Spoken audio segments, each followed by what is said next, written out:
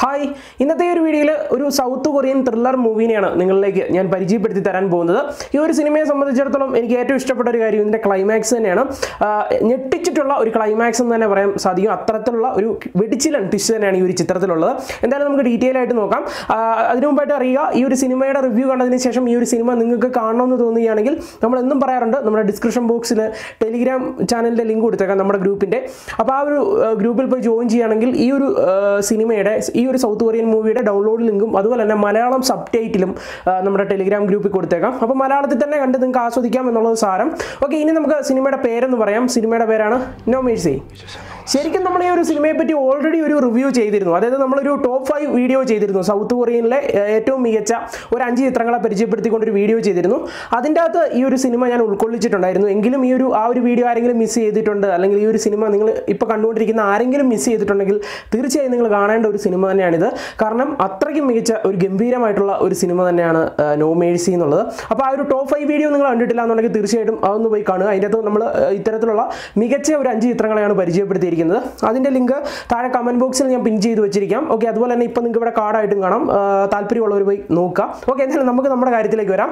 രണ്ടായിരത്തി പത്തിലാണ് no Mercy എന്ന് പറയുന്ന ഈ ഒരു സിനിമ റിലീസ് ചെയ്തിട്ടുള്ളത്. ഇതൊരു ത്രില്ലർ ഭാഗത്തിൽപ്പെടുന്ന ഒരു ക്രൈം ത്രില്ലർ ഭാഗത്തിൽപ്പെടുന്ന ഒരു സിനിമ തന്നെയാണ്. ഇനി നമുക്ക് നോക്കാം ഈ ഒരു ചിത്രം എങ്ങനെയുണ്ടെന്ന്. ഓക്കെ ശരി നമ്മുടെ റിവ്യൂലേക്ക് കിടക്കാം. അതിന് മുമ്പായിട്ട് ചെറിയൊരു അലർട്ട് ഈ ഒരു സിനിമ ഒരു കാരണവശാലും പതിനെട്ട് വയസ്സിന് താഴെയുള്ള ആരും തന്നെ കാണാൻ ശ്രമിക്കരുത്. ഇനി നമുക്ക് ചിത്രത്തിലേക്ക് വരികയാണെങ്കിൽ നമ്മുടെ ചിത്രം സ്റ്റാർട്ട് ചെയ്യുമ്പോൾ തന്നെ ഒരു ബോഡി കാണിച്ചുകൊണ്ടാണ് ചിത്രം ആരംഭിക്കുന്നത്. അതായത് ഒരു പെൺകുട്ടിയുടെ ബോഡി ഒരിടത്ത് ആറ് പീസുകളാക്കി വെട്ടി വെട്ടി പീസുകളാക്കി ഇട്ടിരിക്കുകയാണ്. ഓക്കെ പോലീസുകാർ അത് കണ്ടെത്തുന്നു. ശേഷം ആ ഒരു ബോഡി എടുത്തുകൊണ്ട് പോസ്റ്റ്മോർട്ടത്തിന് പോകുന്നു.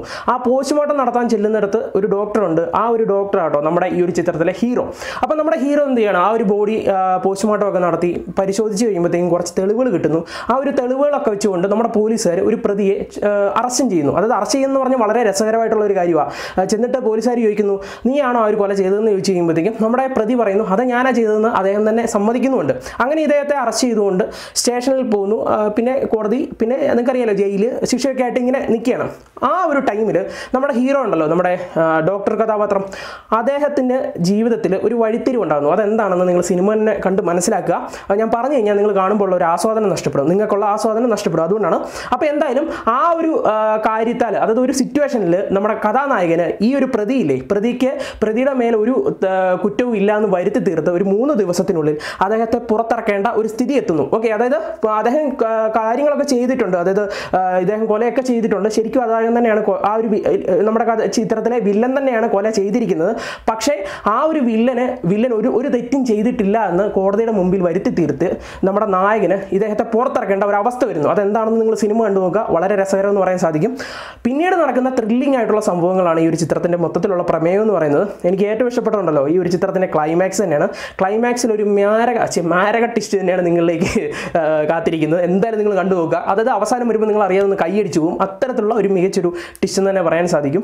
പിന്നെ എനിക്ക് ഈ ചിത്രത്തിൽ ഏറ്റവും ഇഷ്ടപ്പെട്ടത് ഇതിന്റെ ഡയറക്ഷൻ എടുത്തു പറയേണ്ടത് ഇതിന്റെ അകത്ത് ഒരു പോസ്റ്റ്മോർട്ടം സീനുണ്ട് ഞാൻ ആദ്യമായി പറഞ്ഞില്ല ഒരു പോസ്റ്റ്മോർട്ടം ആ ഒരു പോസ്റ്റ്മോർട്ടം ഒക്കെ ചെയ്തിരിക്കുന്നത് എന്റെ പൊന്നോ ഒരു രക്ഷയില്ല.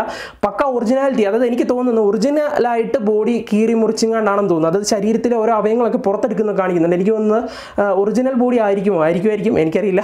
എന്തായാലും പക്ക ഒറിജിനൽ എന്ന് പറയാം. എന്തായാലും ചിത്രം എന്നെ പൂർണമായിട്ട് സംതൃപ്തിപ്പെടുത്തിയിട്ടുള്ള ഒരു സിനിമ തന്നെയാണ്.